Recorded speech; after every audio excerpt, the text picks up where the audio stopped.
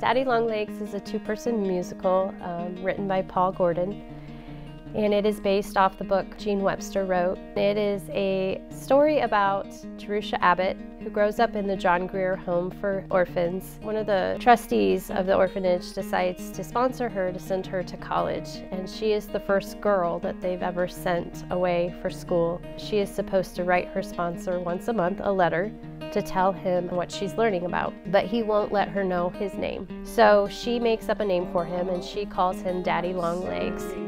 All for One has done two musicals in the past, and they've both been locally written and produced, so they were world premieres.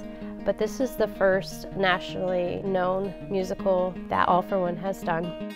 We decided for the first time in AFO history to cast understudies for the show. We took a chance and we cast two amazing understudies, Becca Gunnell and Andrew Bauer, uh, who will support Scotty Frank and Sierra Harbor.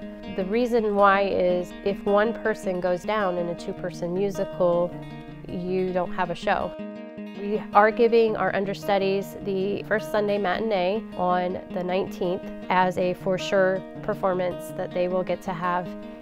All four are seasoned performers, and so we're here to work, and we can do that, but we can also have some fun doing it.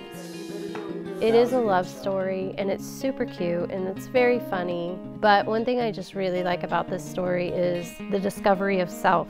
Jerusha is inundated in a world of academia that she's not used to and she goes through all of these trends. What she comes back down to is love. That really, ultimately, I just want to be loved.